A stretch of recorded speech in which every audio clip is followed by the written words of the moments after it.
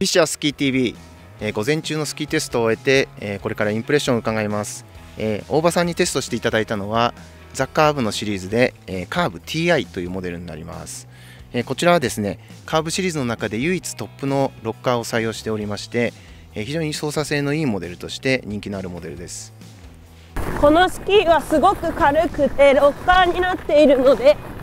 トップの導入からテールのここ抜け出しすごく軽やかにいけます。リズムの変化アクセスでもすごく乗り込みのいいスキーになります。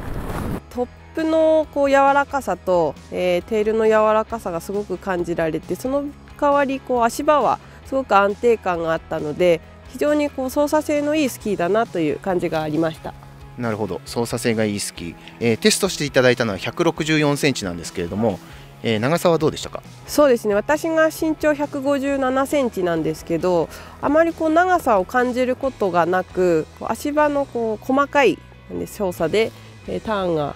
できるかなと思いました。はい、えー、私が持っているプログレッサーシリーズの F18 と比べると、えー、イメージ的にはどういった感じになりますか？そうですね、えー、18と比べると少しこう強い感じっていうのがあるんですけれどもあの急激なこうスキーの帰りというよりはターン中のこう安定感っていう方があの非常にこう頼もしく感じるスキーかなと思います。はい、